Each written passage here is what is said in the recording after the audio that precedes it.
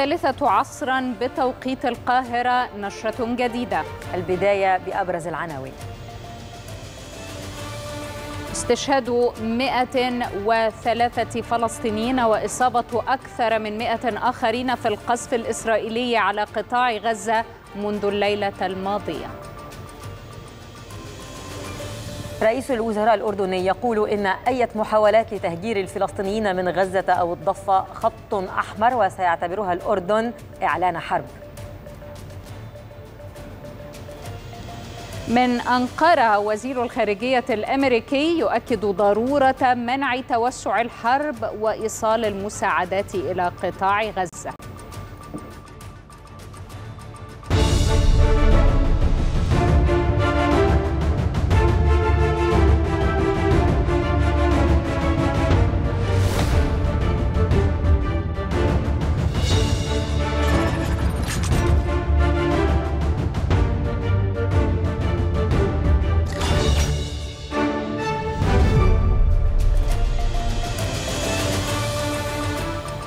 أعلنت وكالة الأنباء الفلسطينية أن القصف الإسرائيلي المستمر على غزة منذ الليلة الماضية أدى إلى استشهاد 103 فلسطينيين وإصابة أكثر من 100 آخرين. هذا ويتواصل العدوان الإسرائيلي على قطاع غزة لليوم الحادي والثلاثين على التوالي وشن طيران الاحتلال مئات الغارات على التجمعات السكنية في عدة أنحاء بالقطاع. وأفادت مراسلة القاهرة الإخبارية أن القصف استهدف مناطق في جباليا ورفح وخان يونس ودير البلح. وقالت مراسلتنا إن الاحتلال استهدف آبار المياه وشبكات الصرف الصحي إضافة إلى استهداف الألواح الشمسية لمستشفيات القطاع.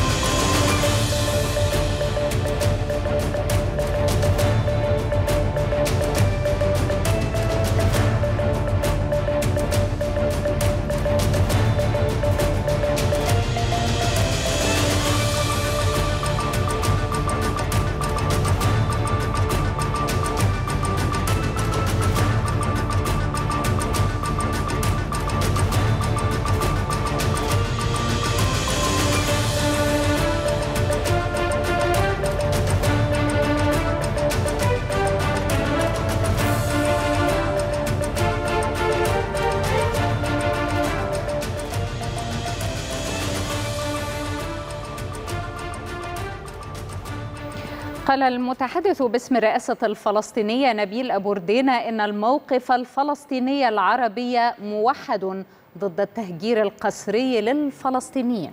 وفي تصريحات خاصة للقاهرة الإخبارية أكد أبو وردينا أن الشعب الفلسطيني يرفض أي محاولة إسرائيلية لخلق أراض بديلة لبلادهم. بخصوص التهجير موقفنا وموقف مصر والأردن كان واضحا نرفض التهجير وقيل لبلينكن ذلك في عمان وفي رام الله كذلك. والجانب الأمريكي بدأ يتزحزح عن موقفه السابق وقال لا يجوز الضغط على الفلسطينيين لمغادرة بلادهم أو إجبارهم على ترك بلادهم.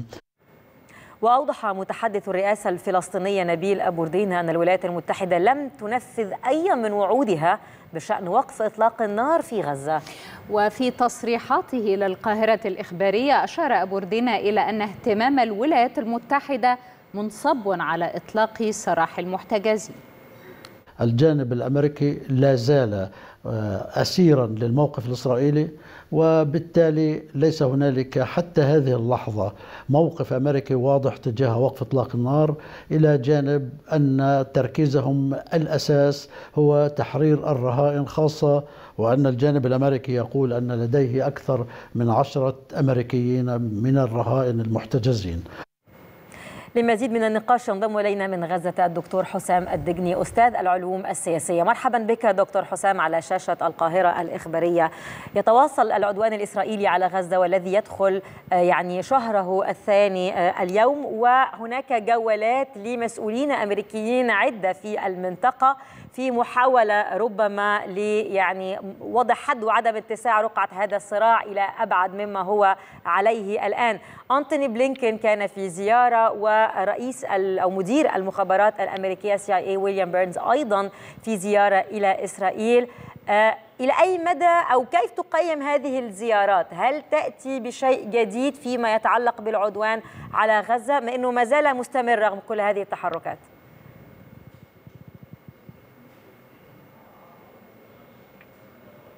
دكتور حسام هل تسمعني؟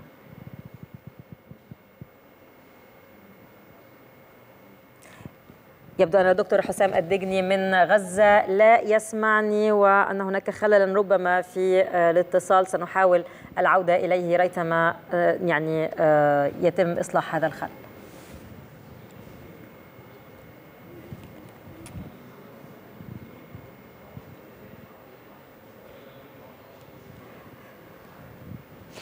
وتنضم إلينا مباشرة من خان يونس مراسلتنا منى عوكل.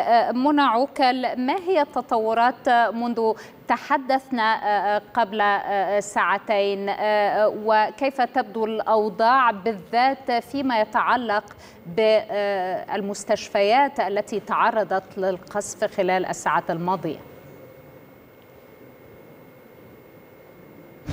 نعم يعني عمليا ما زالت إسرائيل تستهدف بشكل مباشر منازل المواطنين. قبل قليل كان هناك استهداف لمنزل في مقابل مستشفى السلام في السطر الغربي في منطقة خان يونس. هذا الاستهداف أدى إلى سقوط أربع شهداء وعدد من الجرحى. أيضا كان هناك سابق هذا الاستهداف استهداف آخر في محيط حي الأمل بالقرب من مستشفى الهلال الأحمر. هذا الاستهداف أيضا أدى إلى سقوط طفلة شهيدة وحوالي ثماني إصابات حتى اللحظة ما زال هناك يعني محاولات لانتشال المزيد من الضحايا من أسفل الركام. أيضا في استهدافات مختلفة كان هناك استهداف لشقة سكنية في منطقة دير البلح في وسط مدينة غزة.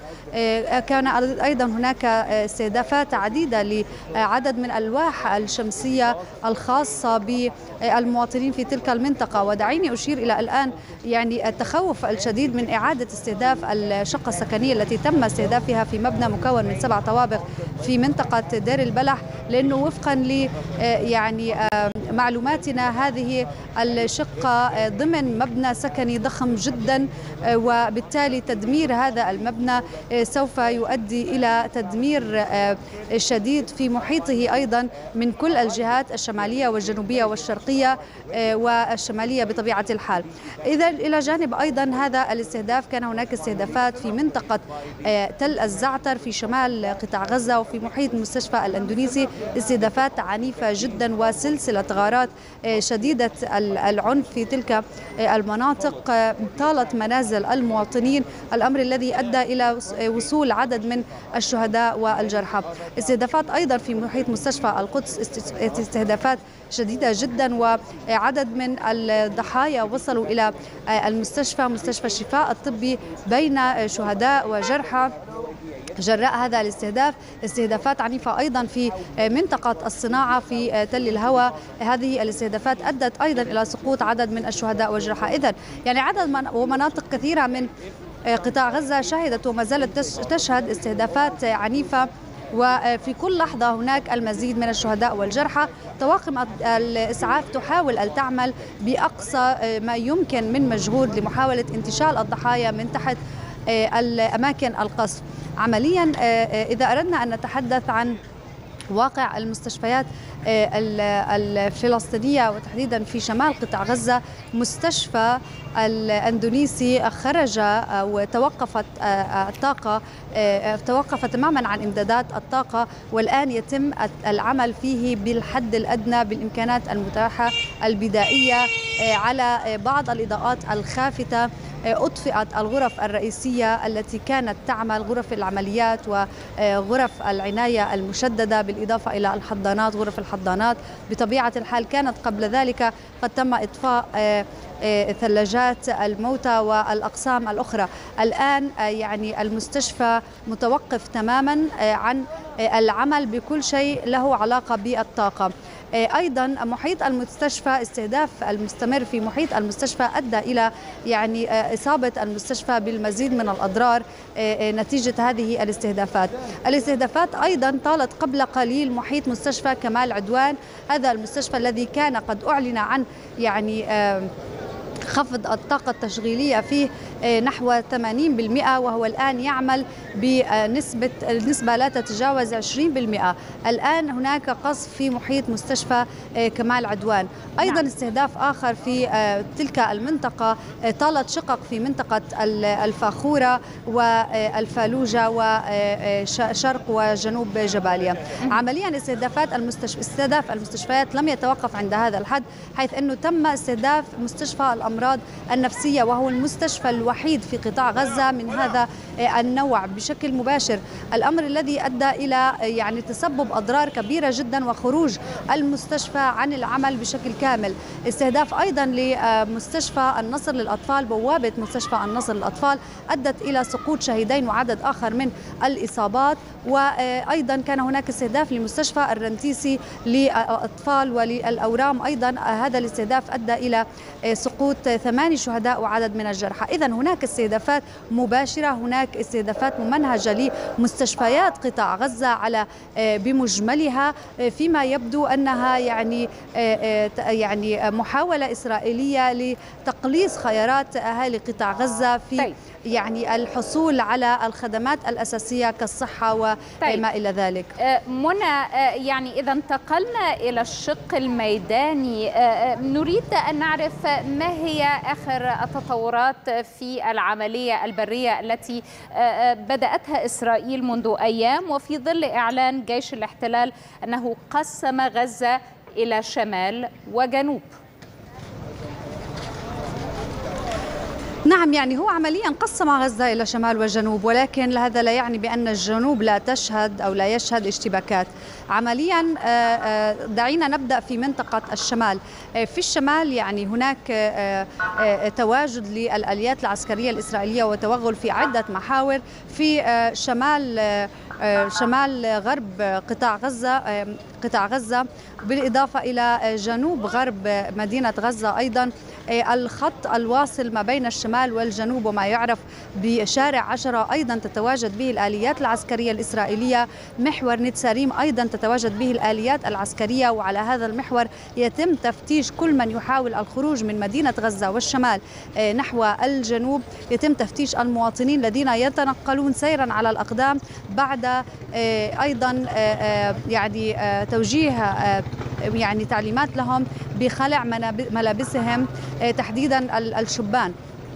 وبالتالي أيضا لا يسمح للمواطنين بالتحرك هناك سوى النساء الأطفال الرجال ومعهم حقيبة ظاهر صغيرة. لا يسمح بأكثر من ذلك. إن سمح طبعا. هذا عدا عن أنه أيضا محاور الشمال الشرقي تشهد ما زالت تشهد اشتباكات عنيفة وتقدم للآليات الحربية العسكرية تحديدا في منطقة الزيتون الشجاعية حي التفاح في شمال نعم. بيت حانون وبيت لاهيا. غربا أيضا ما زالت تشارك البوارج الحربية الإسرائيلية في تشكيل غطاء على الدبابات والآليات العسكرية التي تتوغل داخل المدينة من جهة الغرب وبالتالي تلك المناطق بمجملها الآن هي محاصرة بالكامل وهناك محاولات من قبل الآليات الحربية العسكرية الإسرائيلية في الميدان نعم. بالوصول إلى يعني ما يراه الغالبية محاولة الوصول إلى المستشفيات والتمركز في محيطها وتحديدا قد يكون الهدف قد يكون الهدف هو مستشفى الهدف الأول هو مستشفى الشفاء الطبي. وهذا ربما ما تؤكد التصريحات الأخيرة ومحاولات إدانة الجهات الفلسطينية بتورط نعم. مستشفى الشفاء الطبي. وهذا ما يعني يتحدث الجميع عن أنه غير صحيح وغير دقيق وأنه لا يوجد في المستشفى سوى مرضى ونازحين فقط. شكرا جزيلا لك من خان يونس منى عكا المراسلة القاهرة الإخبارية ونتمنى لك كل السلام. استنكرت وزارة الخارجية الفلسطينية تحرك العالم لإطلاق سراح 240 أسيرا إسرائيليا بينما يتجاهل مليونين وأربعمائة ألف فلسطيني يختطفهم الاحتلال الإسرائيلي في قطاع غزة ويجبرهم على النزوح وترك منازلهم تحت القصف المستمر. بالفعل ونددت الخارجية الفلسطينية بحرمان الاحتلال سكان القطاع من الاحتياجات الأساسية من مياه وكهرباء وغذاء ووقود مناشدة المجتمع الدولي إجبار إسرائيل على وقف الحرب وحماية المدنيين.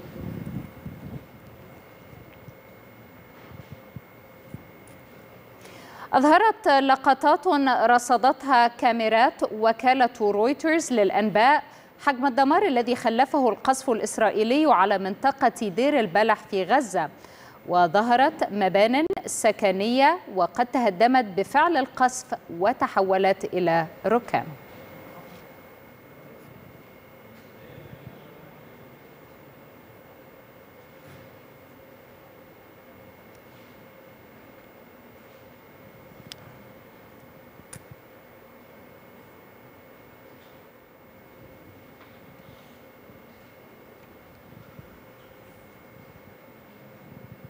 ومن غزة ينضم إلينا السيد حسني مهنا المتحدث باسم بلدية غزة. مرحبا بك معنا سيد مهنا.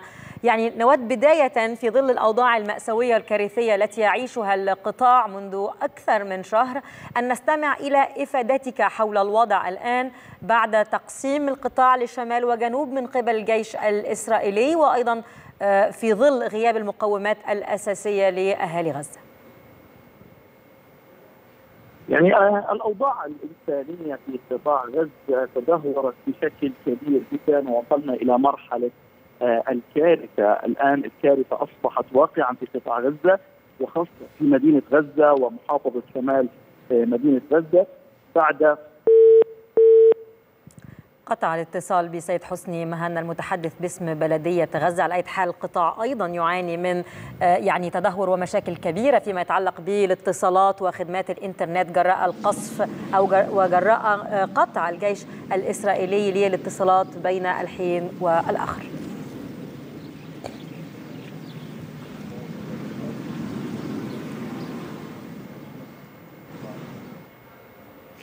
حرم عدوان الاحتلال سكان قطاع غزة من مقومات الحياة الأساسية من مياه وغذاء ووقود وكهرباء لتتفاقم معاناته في ظل القصف المستمر منذ شهر. وأجبرت الحرب سكان القطاع على البحث عن بدائل لمواجهة متطلبات الحياة فلجأوا إلى مياه البحر من أجل الشرب والاغتسال والنظافة. غزة حرمت من الحياة. وسلب من أهلها حق الحلم بمستقبل آمن ومستقر فأصبح كل شيء على أرضها عبارة عن ركام وباتت كل عائلة بها مكلومة تبكي ذويها من الشهداء والجرحى والمفقودين. هذه ليست المعاناة الوحيدة التي يواجهها سكان القطاع فمن ينجو من قصف الاحتلال يعجز أمام نقص مقومات الحياة البسيطة. من مياه وكهرباء ووقود ناهيك عن المأوى فالجميع صار إما نازحا أو لاجئا أو مشردا بانتظار المجهول. مش ملاقيين مية ولا ملاقيين حاجة ولا ملاقيين لقمة. لقمة ناكلها مش ملاقيينها بنقف في طوابير على باب المخبز مرار بنجيب ومرار بنجيبش مرار بناخذ من الجيران خبز وأكل وشرب. إحنا لاجئين جينا على المدرسة ما فيش مية جينا نغسل أواعينا ونجلد جينا بنعبي مي من البحر نغسل أواعينا وغادا بيجيبوش المي غاد بس يومين ثلاثة بس بيجيبوا مي السكان صاروا يستخدمون مياه البحر بغرض الشرب والاغتسال والتنظيف. وللتخفيف من وطأة ملوحتها يلجؤون لغليها بهدف فصل المياه عن الملح عن طريق التقطير. حرب يعيشها قطاع غزة منذ شهر. ويخشى السكان امتدادها لأكثر من ذلك. وتستمر معها الكارثة الإنسانية التي حرمتهم من الإنجاب ومحت ذكرياتهم وجعلت بيوتهم ركاما وانقاضا. عودة مرة أخرى إلى السيد حسني مهنا المتحدث باسم بلدية غزة منضما إلينا من مدينة غزة. تفضل سيد مهنا كنا نود أن نستطلع مشاهدتك لما يحدث الآن. يعني كنا نتحدث عن واقع مدينة غزة وشمال مدينة غزة. آه الواقع صعب جدا الأوضاع الإنسانية كارثية. آه أصبحت الكارثة واقعا اليوم. آه وتشتد يوما يوما بعد يوم. نتيجة الإجراءات الإسرائيلية والعدوان الإسرائيلي المتواصل والغارات الإسرائيلية المكثفة على مدينة غزة. في كل دقيقة هناك قصف إسرائيلي على مناطق مختلفة من قطاع غزة. أيضا الاحتلال الإسرائيلي ومع بدء عملية التوغل البري على مدينة غزة وشمال قطاع غزة قام بقطع الطرق المؤدية إلى مدينة غزة. ما أسفر عن قطع الإمدادات بشكل كامل عن مدينة غزة وقطاع غزة وأيضا منع عملية الدخول والخروج من وإلى مدينة غزة وشمال القطاع.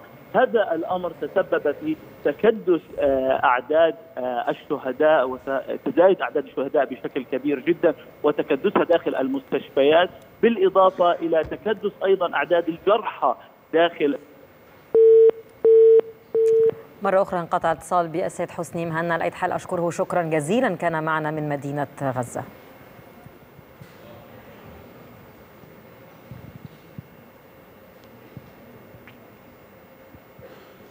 يعاني النازحون في مخيم اللاجئين بجنوب قطاع غزة من تفاقم الأوضاع الإنسانية جراء نقص المياه والغذاء والإمدادات الطبية.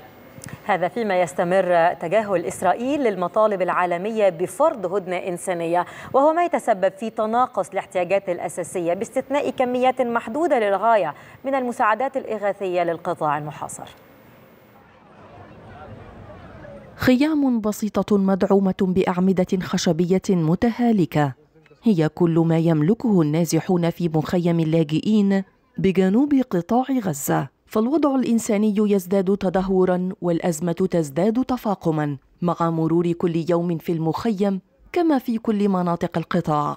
وبالرغم من دخول شاحنات المساعدات مؤخرا إلى القطاع المحاصر إلا أنها تبقى ضئيلة جدا ولا تلبي الاحتياجات الأساسية من المياه النظيفة والغذاء. وفق ما تؤكده منظمات دولية كما أن عملية توزيع المواد الغذائية والإمدادات الطبية تواجه عثرات بسبب ركام المنازل الذي خلفه القصف العنيف والنقص الشديد في الوقود.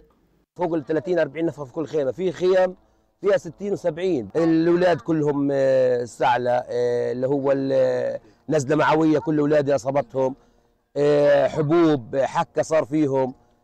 من كثر التكدس اللي إحنا فيه. الظروف السيئة أجبرت السكان على طهو الطعام بطرق بدائية. تعتمد على الحطب ما أسفر عن ارتفاع أسعار الحطب المخصص للطهو والتدفئة مع اقتراب فصل الشتاء.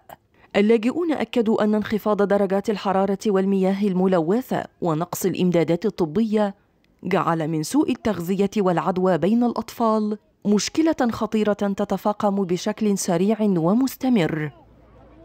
نعاني من كثير معاناة معاناة من الصحة هان. لأنه فيش أي المية ملوثة الطعام ملوث كل إشي هان الهواء حتى ملوث. يعني كل فيش أي مقوم من مقومات الحياة في هذه المخيمات. طبعا أنت يعني طبعا جايين فصل الشتاء هنعاني من برودة الطقس من جميع هذه المشاكل. وكيل الأمين العام للأمم المتحدة للشؤون الإنسانية ومنسق الإغاثة في حالات الطوارئ مارتن جريفيث أفاد أن أكثر من واحد ونصف مليون شخص أجبروا على الفرار من منازلهم ويلجأ نصفهم تقريبا إلى خيام مؤقتة حددتها الأمم المتحدة. حياة أشبه بالموت تفتقر لأبسط المتطلبات الإنسانية يواجهها سكان غزة تحت وطأة القصف الإسرائيلي العنيف فإما العيش في الشوارع أو اللجوء لأحد مراكز النازحين. وفي كل الأحوال لا مفر من مواجهة الموت كل لحظة.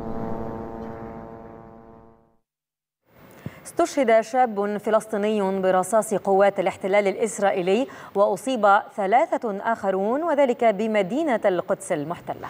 وذكرت مصادر فلسطينية أن قوات الاحتلال أطلقت وابلا من الرصاص باتجاه شاب في شارع صلاح الدين بدعوى محاولته تنفيذ عملية طعن. بينما أفادت شرطة الاحتلال الإسرائيلي بإصابة اثنين من المجندين في حادث الطعن. كما أفادت مراسلتنا بأن شرطة الاحتلال أغلقت العديد من الشوارع المؤدية إلى محيط المسجد الأقصى.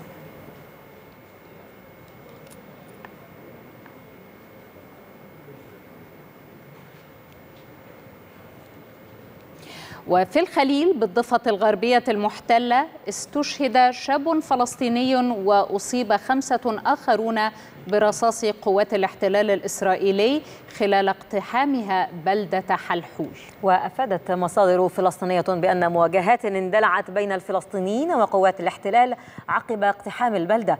أشارت المصادر إلى أن جنود الاحتلال أطلقوا الأعيرة النارية وقنابل الصوت والغاز السام صوب الشباب الفلسطيني كما أصيب عشرات الفلسطينيين بحالات اختناق.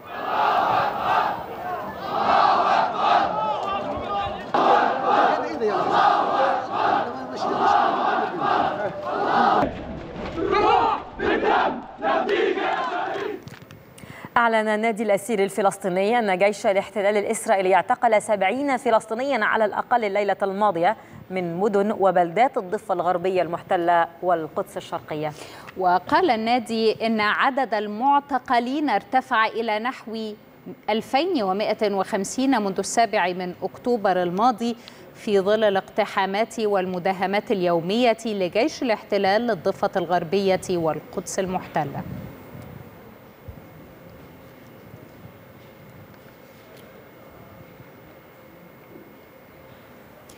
طلب رؤساء 18 منظمة ووكالة أممية بوقف فوري لإطلاق النار لأسباب إنسانية في قطاع غزة. وفي بيان مشترك نادر بشأن الوضع في غزة أعرب رؤساء المنظمات والوكالات الأممية عن غضبهم من عمليات القتل المروعة التي راح ضحيتها آلاف المدنيين في غزة. وجاء في البيان أن شعب غزة يتعرض بأكمله للحصار ويحرم من الوصول إلى العناصر الضرورية للبقاء على قيد الحياة. ويقصف السكان في منازلهم وفي الملاجئ وفي المستشفيات وأماكن العبادة. كما أكدت المنظمات والوكالات الأممية ضرورة السماح بدخول مزيد من المساعدات الإنسانية والإغاثية إلى قطاع غزة لمساعدة السكان.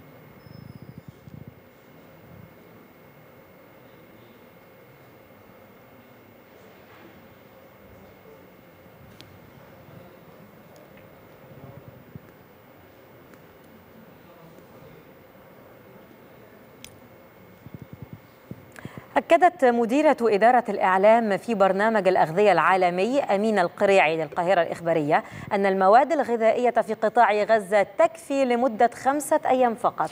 وأضافت أن البرنامج لديه ألف طن من المساعدات الغذائية وأرسل بالفعل 43 قافلة إلى قطاع غزة. المواد الغذائية الأساسية المتاحة حاليا داخل قطاع غزة تكفي لمدة خمس أيام فقط. وفيما بعد ذلك ماذا سيتم؟ برنامج الأغذية العالمي في بداية المشكلة قمنا بإرسال مساعدات غذائية على معبر رفح. كان لدينا أكثر من ألف طن من المساعدات الغذائية على المعبر على استعداد للدخول بمجرد السماح بدخول المساعدات. وبالفعل تم إدخال أكثر من 43 حافلة محملة بالمساعدات الغذائية من برنامج الأغذية العالمي. وسنستمر في إرسال المساعدات لكن الوضع بيتفاقم يوم بعد يوم. ذكرت صحيفة كالكاليست الاقتصادية الإسرائيلية نقلا عن وزارة المالية أن تكلفة الحرب التي تخوضها إسرائيل في قطاع غزة ستبلغ إلى ما يصل إلى نحو 200 مليار شكل وأوضحت الصحيفة أن تقدير التكاليف التي تعادل 10% من الناتج المحل المحلي الإجمالي يستند إلى احتمال استمرار الحرب من 8 إلى 12 شهراً. طبول الحرب التي قرعها جيش الاحتلال الإسرائيلي في غزة ارتد صداها في قلب تل أبيب لتتذوق مرارة خسائر اقتصادية لم تعهدها من قبل. وفقا لأرقام أولية لوزارة المالية الإسرائيلية ستبلغ تكلفة الحرب التي يخوضها جيش الاحتلال في قطاع غزة ما يصل إلى 51 مليار دولار. التكلفة الأولية تستند إلى احتمال استمرار الحرب من ثمانية إلى اثني عشر شهرا مع اقتصار الأمر على قطاع غزة فقط. والعودة السريعة لنحو 350 ألف إسرائيلي تم تجنيدهم في قوات الاحتياط إلى العمل. صحيفة كالكاليست الإسرائيلية قالت إن نحو نصف التكلفة سيتجه إلى نفقات الدفاع وتتوزع باقي التكلفة ما بين الإيرادات وتعويضات للشركات وإعادة التأهيل. في غضون ذلك توقعت مؤسسة جي بي مورغان للتصنيف الائتماني انكماش الاقتصاد الإسرائيلي بنسبة 11% على الأقل عما كان الحال عليه بنهاية الربع الثالث من العام الجاري. ومع اشتعال الحرب في قطاع غزة تواجه حكومة نتنياهو نقصا في العمالة في ظل طردها آلاف العمال الفلسطينيين وهروب آلاف الأجانب لتزداد الأوضاع صعوبة لا سيما في القطاع الزراعي. قبل الحرب على غزة الاقتصاد الإسرائيلي كان يعاني حالة تعثر كبيرة إثر صراعات سياسية خلفها نتنياهو لحكومته. عقب إقراره مشروع قانون يحد من صلاحيات محكمة العدل العليا. وفي الوقت الحالي يواصل الاقتصاد الإسرائيلي طريقه إلى حافة الهاوية.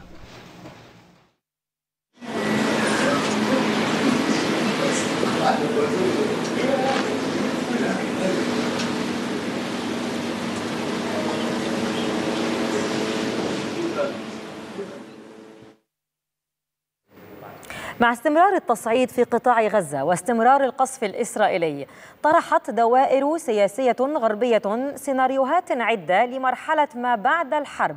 أبرز هذه الطروحات نستعرضها مع دينا سالم. دينا قد يظن البعض أنه من المبكر الحديث عن ما بعد الحرب لكن بالفعل هناك من يتحدث عن سيناريوهات. هذا صحيح جدا يا دينا. هناك عدة سيناريوهات يتحدث عنها المراقبون منذ بداية هذه العمليات قبل شهر تقريبا. إذا مشاهدينا منذ بداية العدوان الإسرائيلي على قطاع غزة وضع الاحتلال هدفا بالقضاء على الفصائل الفلسطينية ومع تطور الأحداث في المنطقة بعد حشد الجيش الإسرائيلي واستدعائه 350 ألف جندي احتياطي موزعين على الحدود اللبنانية وأيضا على أطراف غزة يظل مستقبل القطاع مفتوحا أمام عدة سيناريوهات. تقارير غربية تحدثت عن طرح سيناريوهات حول مستقبل غزة بعد الحرب وجاء في أولها أن تستولي إسرائيل على كامل قطاع غزة بعد أن كانت مسيطرة عليه حتى عام 2005 بينما استبعد مراقبون آخرون هذا السيناريو نظرا لمعارضة حلفاء إسرائيل الغربيين لإعادة احتلال قطاع غزة. أوضح خبراء أنه حال حدوث السيناريو الأول فإن قوة الاحتلال ستتحمل مسؤولية القطاع بالكامل حتى من الناحية المالية. أما السيناريو الثاني فهو أن تتولى السلطة الفلسطينية إدارة غزة ويرى مراقبون أن السلطة الفلسطينية يمكن أن تلعب دورا مهما في مستقبل القطاع. السيناريو الثالث يطرح إمكانية أن تكون هناك سلطة مدنية فلسطينية مختلطة تضم ممثلين من شرائح مختلفة للمجتمع الفلسطيني مثل رؤساء البلديات المحليين وقال مايكل ميلشتن العضو السابق في المخابرات العسكرية الإسرائيلية إنه من غير المحتمل أن هذا الأمر سيواجه الكثير من التحديات. نذهب إلى السيناريو الرابع الذي طرحه أستاذ السياسة الدولية الألماني ستيفان ستيتر أشار إلى أن الأمم المتحدة قد يمكنها من الناحية النظرية أن تتولى زمام الإدارة في قطاع غزة لكنه اعتبر أن حدوث ذلك يعد غير واقعي وأن الحصول على تفويض من الأمم المتحدة بشأن ذلك سيكون أمرا صعبا أيضا. أما السيناريو الآخر لستيفان ستيتر فيقدم من خلاله طرحا مختلفا وهو أن تتولى دول عربية أخرى إدارة قطاع غزة إلى جانب السلطة الفلسطينية. إذا مشاهدينا مع طول مدة العدوان على قطاع غزة وعدم قدرة إسرائيل حتى الآن على اتخاذ قرار بشأن هجومها البري الواسع والذي تلوح به بين حين وآخر وسط عمليات توغل محدودة من الصعب التكهن بأي سيناريو قد يتحقق. الآن مشاهدينا عودة من جديد إلى الزميلة دينا زهرة لاستكمال ملفات النشرة إليك يا دينا. شكرا جزيلا لك يا دينا. إلى العراق مشاهدينا حيث نظمت مجموعة من الفنانين العراقيين في البصرة فعالية فنية تشمل لوحات تصور مشاهد من العدوان الذي يواجهه الفلسطينيون في غزة. قال الفنانون أنهم نظموا هذه الفعالية تضامنا مع الفلسطينيين في غزة. المشاهد المأساوية وصراخ الأطفال في غزة. كان كفيلا لأن يدفع فناني البصرة بالعراق إلى توثيق كل تلك اللحظات حتى تكون شاهدا على انتهاكات الاحتلال الذي لا يعرف طريقا للإنسانية. الدافع الأهم والأكبر لهذا العمل هو ما يتعرض له السكان الأبرياء من عملية تدمير وتحملهم لكل أصناف الأسلحة والقنابل والصواريخ. حاولنا على الأقل نواسيهم ولو بشيء بسيط. عملنا الفني عملنا الثقافي عسى ويعل أن تصل الرسالة إلى العالم أجمع. مجموعة من الفنانين العراقيين نظموا فعالية لرسم أعمال فنية تصور مشاهد الحرب تضامنا مع الفلسطينيين في قطاع غزة. لوحتي تعبر عن تعبر عن الحالة الإنسانية أطفال فلسطين.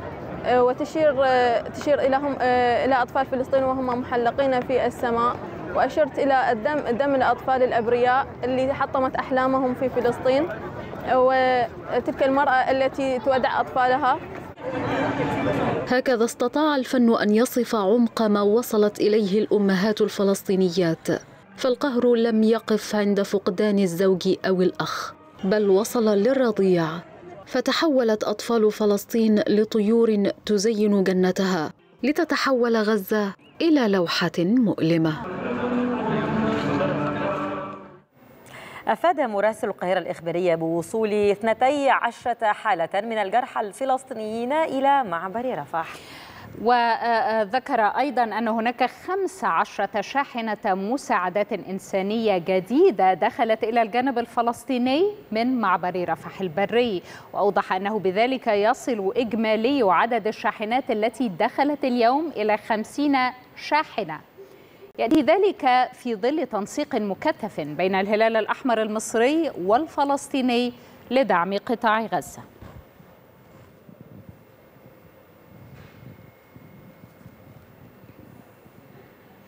هذا ويواصل مطار العريش الدولي استقبال طائرات المساعدات من العديد من دول العالم تمهيدا لنقلها إلى قطاع غزة. وأفاد مراسل القاهرة الإخبارية بوصول طائرتي مساعدات كويتية ويونانية على متنها مساعدات إنسانية وإغاثية لأهالي القطاع.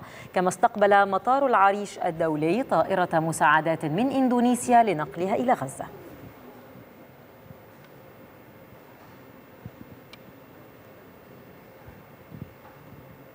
قالت رئيسة المفوضية الأوروبية أورسلا فوندرلاين إن الاتحاد الأوروبي سيزيد المساعدات الإنسانية لغزة بمقدار 25 مليون يورو. وأضافت في كلمة ألقتها في بروكسل إن الاتحاد الأوروبي سيقدم إجمالا 100 مليون يورو كمساعدات إنسانية للمدنيين في غزة.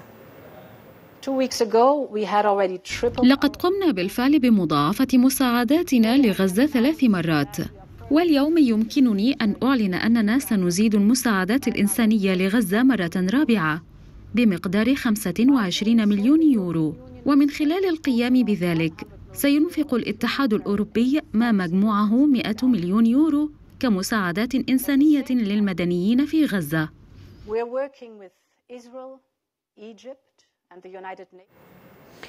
أعلن رئيس الوزراء الأردني بشر الخصاونة أن أي محاولات أو خلق ظروف لتهجير الفلسطينيين في غزة أو الضفة الغربية خط أحمر وسيعتبره الأردن بمثابة إعلان حرب وأكد الخصاونة أن كل الخيارات مطروحة على الطاولة بالنسبة للأردن في إطار الموقف المتدرج في التعاطي مع العدوان الإسرائيلي على غزة وتداعياته.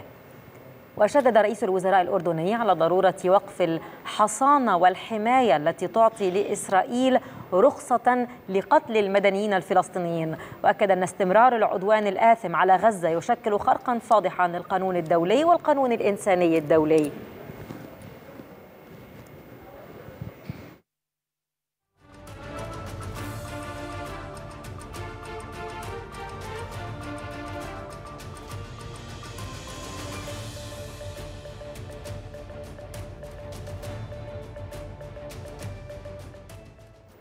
قبيل مغادرته أنقرة. أكد وزير الخارجية الأمريكي أنتوني بلينكين ضرورة إيصال المساعدات إلى سكان غزة ومنع توسع دائرة الصراع.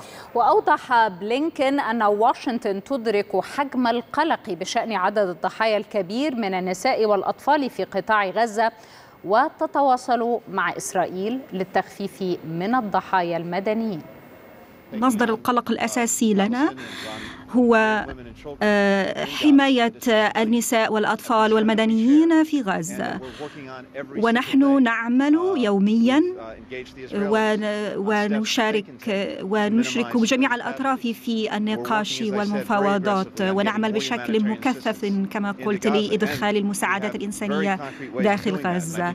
ولدينا أثر ملموس في إحداث ذلك وسوف يستمر ذلك في التوسع في الأيام القادمة. القادمة أن تصل المساعدات إلى الأشخاص الذين يحتاجون إليها. هذا وتظاهر المئات من الأتراك في محيط وزارة الخارجية التركية. وقد ندد المتظاهرون بزيارة وزير الخارجية الأمريكي أنتوني بلينكين لأنقرة وأعرب أعربوا عن رفضهم للدعم الأمريكي للعدوان الإسرائيلي على قطاع غزة.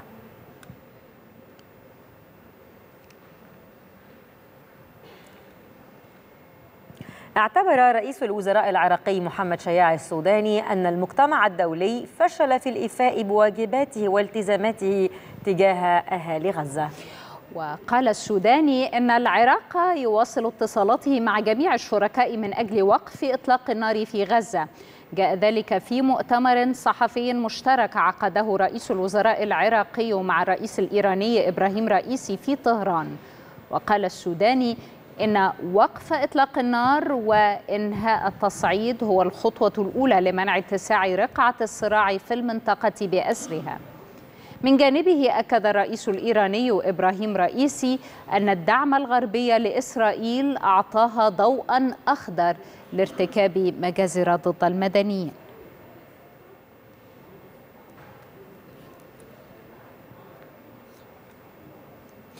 قررت حكومة جنوب إفريقيا استدعاء جميع دبلوماسييها من إسرائيل للتشاور على خلفية العدوان على قطاع غزة. وأوضحت وزيرة خارجية جنوب إفريقيا أن هذا إجراء أن هذا إجراء يتم اتخاذه عندما يكون الوضع مثيرا للقلق وأشارت إلى أن الدبلوماسيين سيقدمون إحاطة كاملة عن الوضع للحكومة في جوهانسبرغ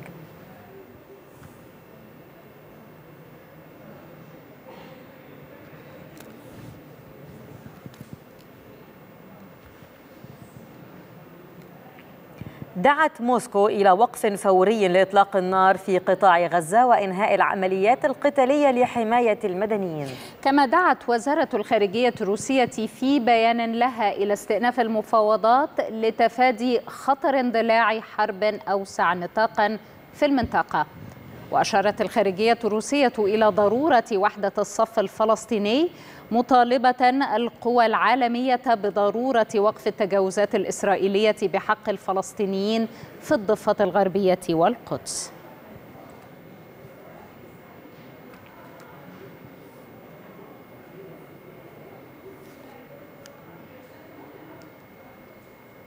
قال وزير الخارجية النرويجي إسبن بارث أيدي أن أوسلو تبحث سبل إحياء قناة دبلوماسية بين إسرائيل والفلسطينيين لإيجاد حل سياسي للصراع المستمر منذ عقود في الوقت الذي تكثف, في تكثف فيه إسرائيل هجماتها على غزة.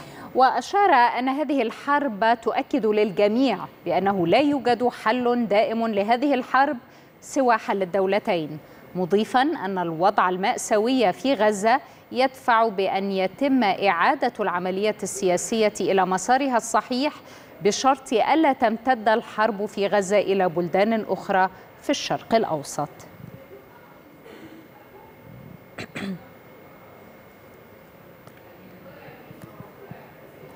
قال منسق السياسة الخارجية بالاتحاد الأوروبي جوزيف بوريل إن المأساة التي نشهدها في الشرق الأوسط هي نتيجة فشل سياسي وأخلاقي جماعي في إشارة إلى العدوان الإسرائيلي المتواصل على قطاع غزة.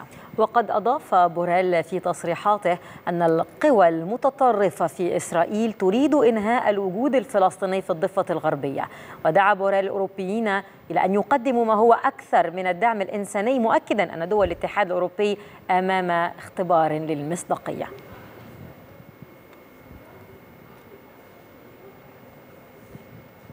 قالت رئيسة الوزراء الفرنسية إليزابيث بورن إن عدد القتلى الفرنسيين منذ أحداث السابع من أكتوبر ارتفع إلى أربعين قتيلا. وأضافت في تصريحات صحفية أن هناك ثمانية مواطنين فرنسيين ما زالوا في عداد المفقودين مشيرة إلى أنها تعتقد أن بعضهم ضمن رهائن لدى حماس.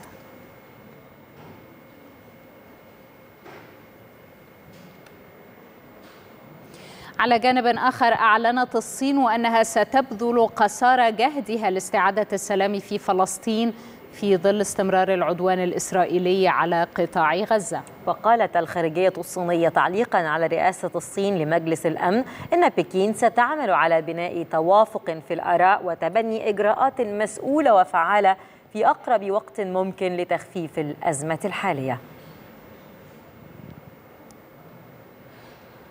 وقد سحبت بريطانيا بعض موظفي السفارة البريطانية من لبنان بشكل مؤقت كما نصحت البريطانيين بعدم السفر إلى هناك. وقالت وزارة الخارجية البريطانية إن الإجراء يأتي في ظل استمرار الصراع بين إسرائيل وحماس في قطاع غزة وتبادل إطلاق النار على الحدود بين إسرائيل ولبنان. وحثت الوزارة البريطانيين في لبنان على المغادرة في وقت لا تزال فيه الرحلات التجارية متاحة.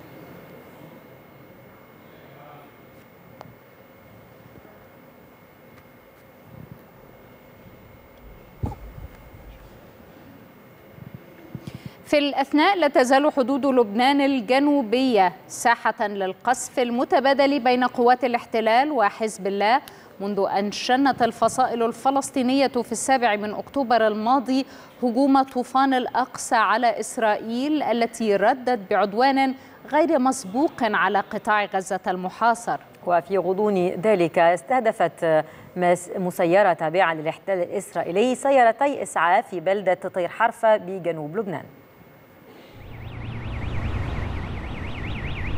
بعد مرور شهر على عملية طوفان الأقصى شهدت الجبهة اللبنانية تصعيدا مع دخول حزب الله على خط المواجهة وتصعيد العدوان على قطاع غزة. المنطقة الحدودية بجنوب لبنان تشهد توترا ملحوظا حيث تعرضت أطراف بلدات علم الشعب ومروحين والظهيرة والناؤورة واللبونة لاشتباكات متبادلة بين جيش الاحتلال وقوة حزب الله اللبناني. وفي إطار القصف الإسرائيلي العنيف استهدفت مسيرة تابعة لجيش الاحتلال سيارتي إسعاف بأطراف بلدة طير حرفة في جنوب لبنان ما أسفر عن إصابات في صفوف المسعفين بالتوازي مع تحليق مكثف لطائرات الاستطلاع الإسرائيلية على طول المنطقة الحدودية الجنوبية للبنان.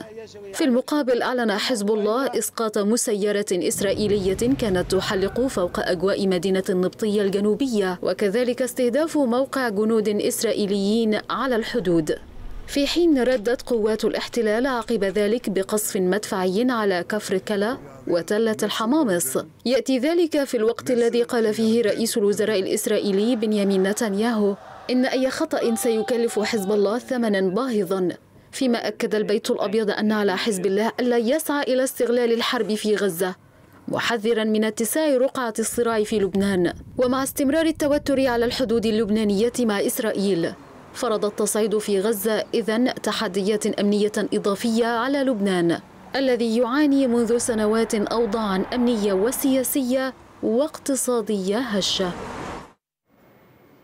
في شأن مختلف أكد الرئيس المصري عبد الفتاح السيسي أنه اتفق ورئيس دولة جنوب السودان سيلفا كير ميارديت على دعوة مختلف الأطراف السودانية لتغليب المصالح القومية العليا للسودان. وخلال مؤتمر صحفي مع رئيس جنوب السودان تم التأكيد على دور مصر وجنوب السودان المحوري في الأزمة السودانية. كما اتفقنا على دعوة مختلف الأطراف السودانية لتغليب المصالح القومية العليا للسودان على أي مصالح فردية أو تدخلات خارجية من شأنها تعميق المشكلة أو زيادة حدة معاناة الأشقاء السودانيين وإطالة أمد الأزمة.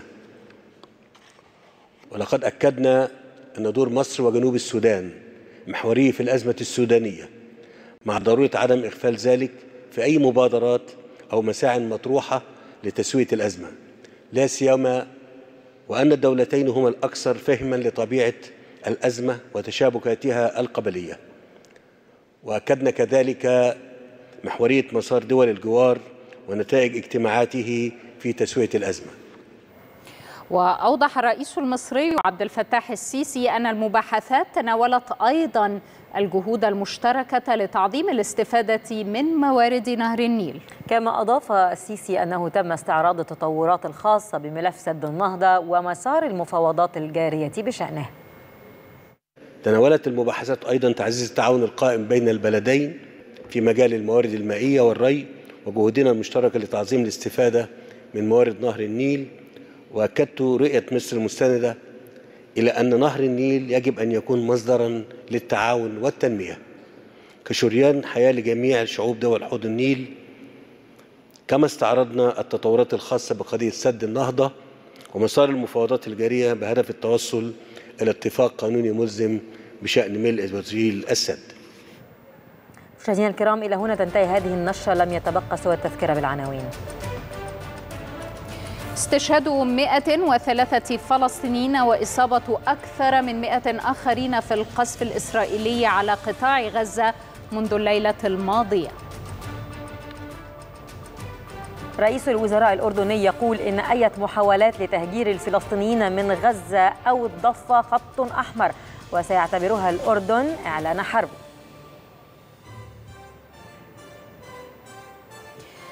من أنقرة وزير الخارجية الأمريكي يؤكد ضرورة منع توسع الحرب وإيصال المساعدات إلى قطاع غزة.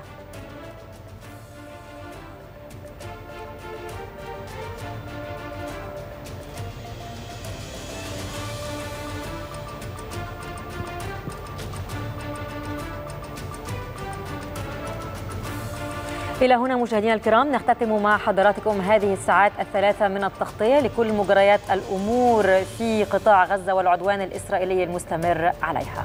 ودائما التغطية مستمرة على شاشة القاهرة الإخبارية. بعد قليل تلتقون الزميلات فيروز مكي وداليا نجاتي لمتابعة المزيد من الأخبار. شكرا لكم.